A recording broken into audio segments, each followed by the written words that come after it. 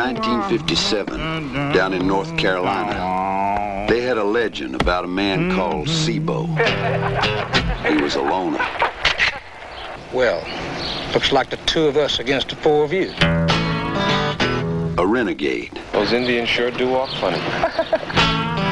Some call him a bounty hunter. How many you killed now, Seabo? Some call him a hero. Deputy Clay, this looks like a Mexican standoff. And I'm more Mexican than you. Now, you take the bullets out of that pistola. Now I want you to eat those bullets. Come on now, Seabo. I... Eat them or eat this.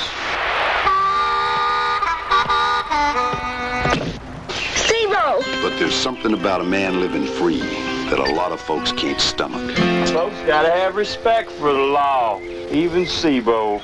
So they put him in chains in the Buckstone County Prison. We deal in complete and total rehabilitation.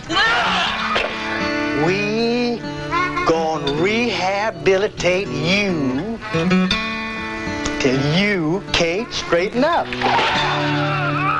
Come on,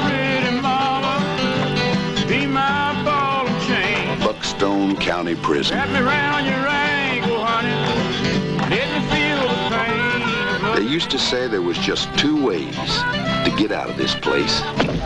Either you crawl You got to learn to act like you next to nothing. or you die. Wanna beg mama's boy? But that was before they got Seabo. Go to hell. They couldn't break him. They couldn't hold it.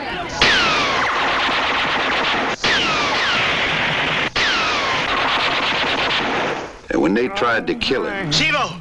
they couldn't find him. Seabo! You gotta be dead!